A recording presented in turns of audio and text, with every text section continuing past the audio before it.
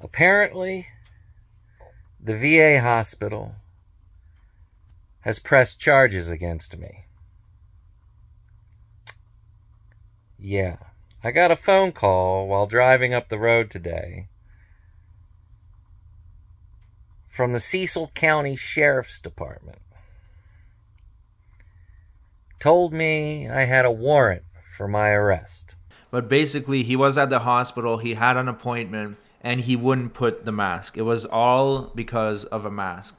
I mean, wearing a mask is it's just so simple. It's a little piece of fabric. I don't understand what's the big deal. If you're having an appointment with your doctor, your doctor wants to wear a mask, just wear the damn mask. And yeah, he wouldn't want to wear it. And also, he was yelling at the top of his lungs. He pretends to have, you know, lung issues, but he's able to yell like a psycho. And that's why he got that disorderly conduct charge.